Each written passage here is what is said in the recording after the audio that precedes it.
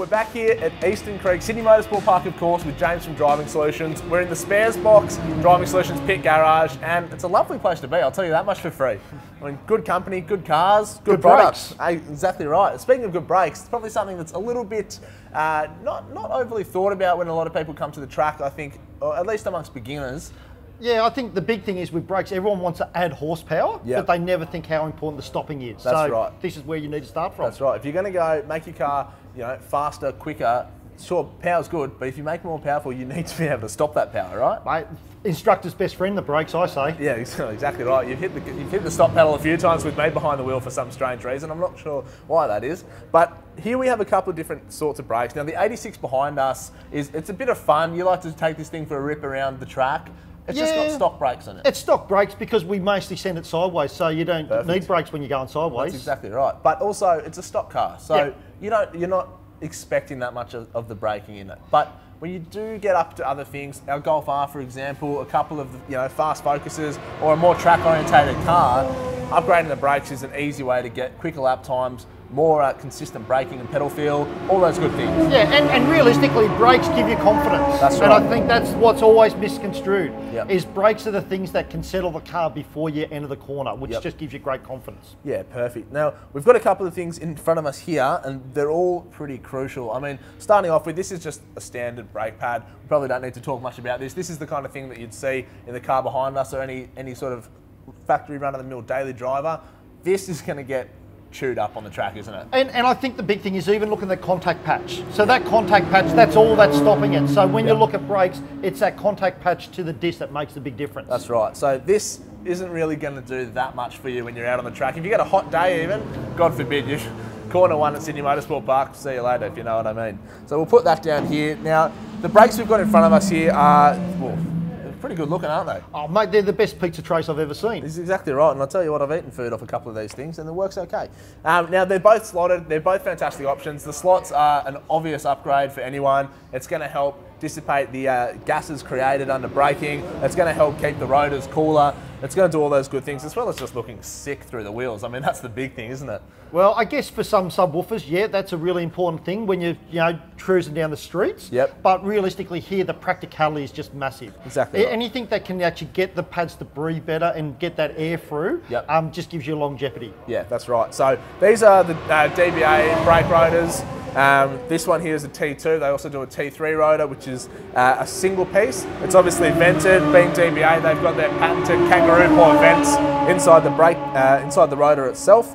Um, and then over here, we've actually got their 4000 series two-piece rotor. Now this is for your hardcore uh, track-orientated cars. This one's actually off Leon's Golf. Um, we pulled it off just the other day to uh, basically give it a bit of a braking overhaul. Now there's a couple of differences here.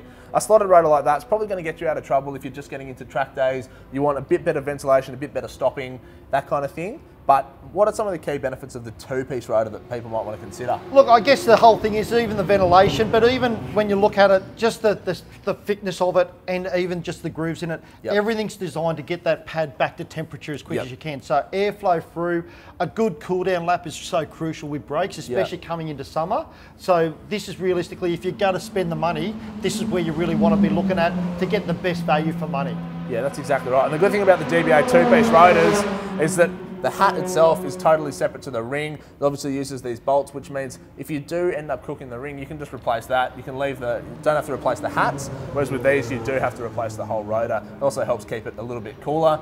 If you do want to know what's happening with your brakes, another fantastic thing to check is that little guy you've got there. Oh, you got to love one of these. so it gives you the good temperature as well. So the brakes are working at some massive heat. So realistically, getting that heat going out there and checking the pressures is really crucial. Yeah, exactly right. Now, if you don't have that, don't fret. On all the DBAs, they've actually got thermographic paint markings on the edge of the rotor.